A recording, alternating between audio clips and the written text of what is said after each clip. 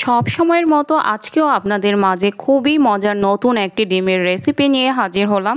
এই রেসিপিটি আপনাদেরকে আমি দুইভাবে করে দেখাবো। আশা করি আজকের রেসিপিটি আপনাদের ভালো লাগবে। ভিডিওটি স্কিপ না করে দেখার অনুরোধ রইল। আর ভিডিওটি ভালো লেগে থাকলে অবশ্যই আমার চ্যানেলটি সাবস্ক্রাইব করে পাশে থাকা বেল আইকন বেলটি প্রেস করে রাখবেন। আজকের এই ডিমের চপ রেসিপিটি একেবারেই বাহিরের ডিমের চপের মতোই খেতে হবে। তো আর কথা না বাড়িয়ে চলে যাচ্ছি মূল রেসিপিতে আমি এখানে মাঝারি সাইজের তিনটি আলু আর দুইটি ডিম ভালো করে ধুয়ে পরিষ্কার করে পানি দিয়ে সিদ্ধ বসিয়ে দিলাম। এটাকে আমি ভালোভাবে সিদ্ধ করে নিব বাট একেবারেই নরম তুলতুলে করব না। এখন আলুটাকে খোসা ছাড়িয়ে গরম থাকা অবস্থাতেই আমি ম্যাশ করে নিচ্ছি। তো দেখুন আমি কীভাবে ম্যাশ করে নিচ্ছি, এটাকে একেবারে মিহি ম্যাশ করা যাবে না। একটু দানাদার হালকা থাকলেই হবে। তো এটাকে আমি গরম অবস্থাতে ম্যাশ করছি। এই তো ম্যাশ করা হয়ে গিয়েছে। দেখুন, এমনটা দানাদার থাকবে। এখন এই চপের জন্য আমি মশলা রেডি করে নিচ্ছি। প্রথমে আমি নিয়ে নিলাম এক চা চামচ টালা ধনিয়ার গুঁড়া, এক চা চামচ চাট মশলা, এক চা চামচ টালা জিরার গুঁড়া, হাফ চা চামচ টালা গরম মশলার গুঁড়া, এক চা চামচ টালা শুকনা মরিচের গুঁড়া। ঝালটা আপনাদের টেস্ট অনুযায়ী দিয়ে নেবেন। তো আমি এখন মশলাটা মিক্স করে ফেললাম। এখন আরেকটি পাত্রে এক টেবিল চামচ রসুন কুচি নিয়ে নিলাম। আর নিচ্ছি এক টেবিল চামচের চেতে একটু কম আদা কুচি।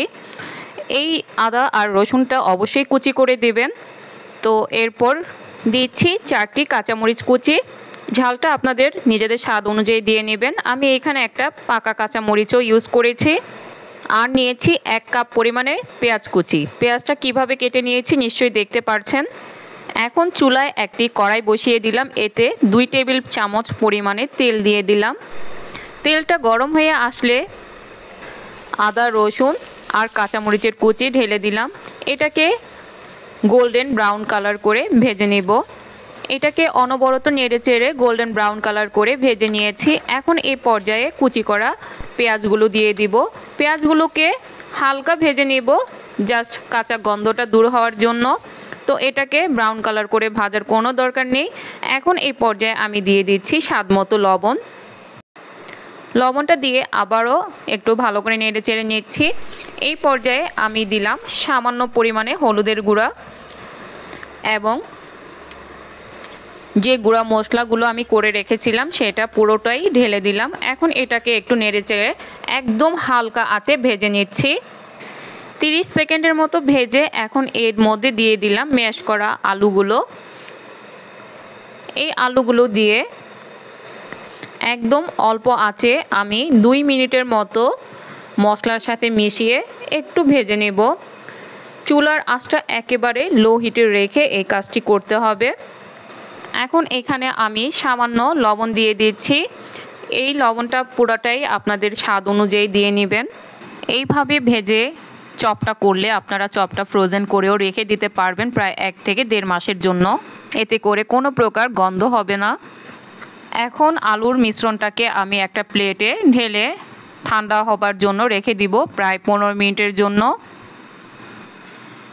এখন আমি যে দুইটি ডিম সিদ্ধ করে রেখেছিলাম, সেই ডিমটাকে আমি একটা ডিমকে চার ভাগ করে নিয়েছি। আপনারা চাইলে হাফ করে নিতে পারেন বা আস্ত ডিম দিয়েও এই চপটা করে নিতে পারেন। তো আজকে আমি একটা ডিমকে চার পিস করেছি। তো আমার দুইটি ডিমে আট পিস হয়েছে। এখন এর মধ্যে আমি ছিটিয়ে দিচ্ছি চাট মশলা। এতে করে ডিমটাও খেতে ভালো লাগবে। আপনারা চাইলে গোলমরিচ আর লবণও ছিটিয়ে দিতে পারেন। এখন আমি একটা বাটিতে একটি ডিম ভেঙে নিব। এরপর দিয়ে দিব দুই টেবিল চামচ পরিমাণে লিকুইড দুধ। দিচ্ছি সামান্য পরিমাণে লবণ, সামান্য পরিমাণে কালো গোলমরিচের গুঁড়া। এখন সবগুলো উপকরণ ভালোভাবে মিশিয়ে নিচ্ছি। মেশানো হয়ে গেলে মিশ্রণটি একটা সাইডে রেখে দিব।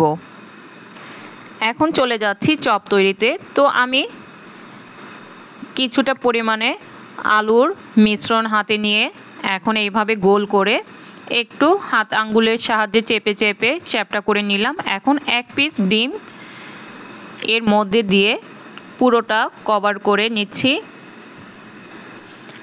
হাতের সাহায্যে এটাকে একটা সুন্দর চপের আকৃতি দিব। তো দেখুন আমি কীভাবে চপটা তৈরি করে নিচ্ছি। এইভাবে চপটা তৈরি করে এখন আমি একে একে সবগুলি একই প্রসেসে তৈরি করে নিচ্ছি। আপনাদের সুবিধার্থে আমি আরেকটি করে দেখিয়ে দিচ্ছি। এইভাবে আমি সবগুলো চপ তৈরি করে নেব এবং আমি আপনাদেরকে ডিম দিয়েও চপটা করে দেখাবো এবং ডিম ছাড়াও করে দেখাবো। তো প্রথমে আমি ডিম দিয়ে সবগুলো তৈরি করে নিলাম। এখন কিছুটা আলুর মিশ্রণ রয়ে গিয়েছে।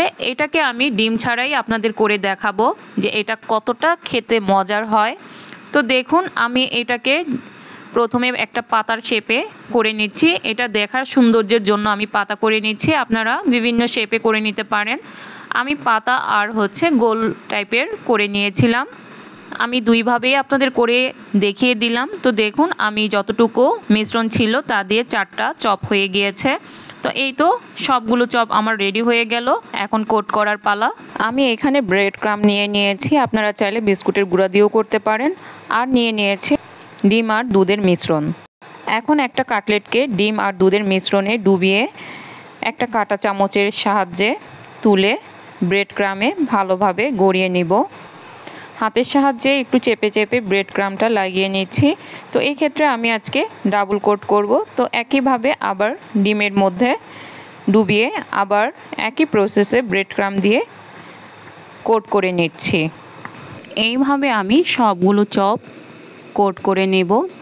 তো এই তো আমার একটা হয়ে গিয়েছে। একই প্রসেসে আমি সবগুলো চপ কোট করে নিয়েছি।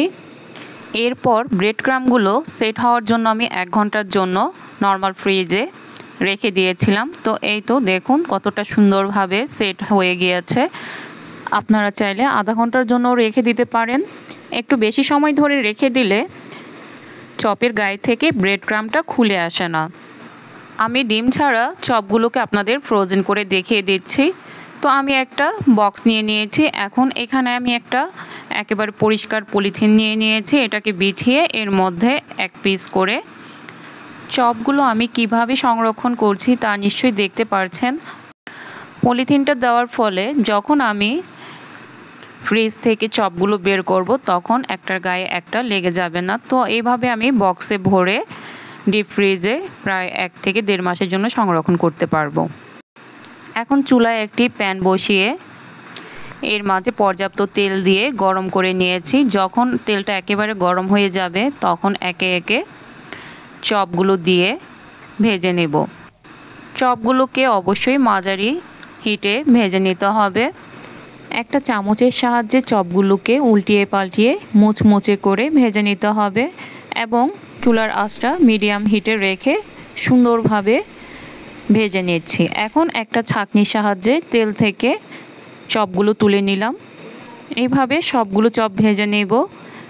তো এই তো তৈরি হয়ে গেল আমার মজাদার ডিমের চপ। আমার এই রেসিপিটি যদি আপনাদের ভালো লেগে থাকে, অবশ্যই লাইক কমেন্ট শেয়ার করবেন এবং সবাই ভালো থাকবেন, সুস্থ থাকবেন। আল্লাহ হাফেজ।